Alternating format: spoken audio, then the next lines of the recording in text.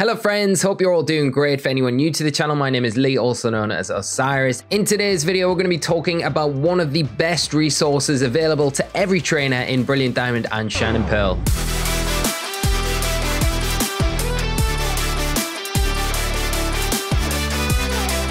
So this one's going to be quite quick today, friends, but this is going to be a really valuable resource for a lot of you in Brilliant Diamond, Shining Pearl. I was scrolling through Reddit last week. Let me pull the post up.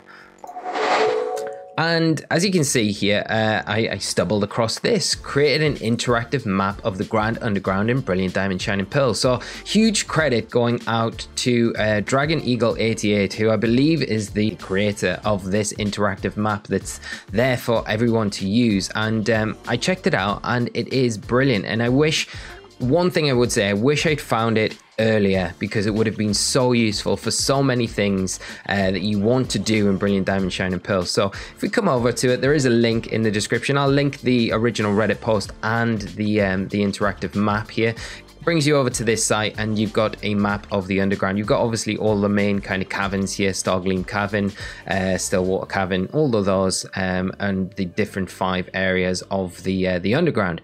So you can you can use this scroll down menu here and you can hide all show all so you can show everything. It's a bit of a mess if you're zoomed out like we are now.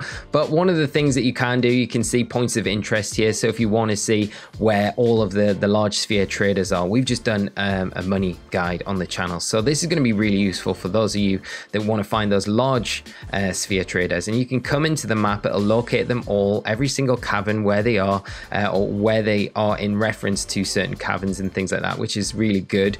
Uh, you can also do it with the small sphere traders as well, uh, see where they're located around the game. So if you, you need to locate them, then that's going to be super easy. You've got the base expanders as well, so you can see where they are. If you want to expand your, your base, um, you can see where they are around the uh, thing. And then the medics as well. If you're in a tight uh, position in game and you need to heal up quickly, you're not close to a Pokemon Center, or if you're in the underground and you want to grab one, then I guess uh, the medics are there as well for you to be able to see. You've got all the different uh, hideaways as well. So the different, every single cavern is listed in here. And the nice thing about this is each different area. So if you want to go on Dazzling Clave, which is the one from Celestic Town, you want to go into this, you uh, you just click on Dazzling Clave here and it'll bring up a little map and then you want to click this and it'll take you to a page with all of the the um the wild pokemon that appear in this cavern how rare they are the rare spawns what you can get which game they're gonna appear in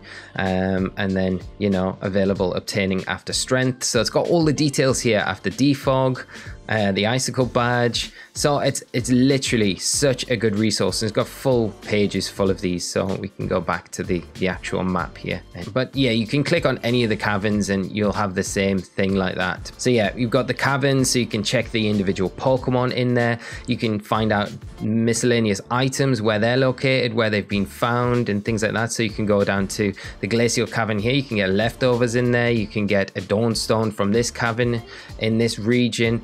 So you literally can scroll through all of these, see there's rare candies there. There'll be two of them in the underground. You can locate them and then go and find them. But the, the biggest thing, the same with the TMs, but the biggest thing I felt was really useful was the ability and the list here of NPC characters for the Spiritomb quest because we did a guide on the channel and it is very difficult to kind of pinpoint where the, the NPCs are. You need to speak to 32 individual NPCs. And this is a, a such a good resource for that alone where you can click on this, just show the NPCs and you can go into the different various uh, underground areas and see where these NPCs appear, what their names are, and when you've seen them, you can then come over, tick them off, until you've got the whole list of 32 here and it's going to be such a good resource for this entire thing you know?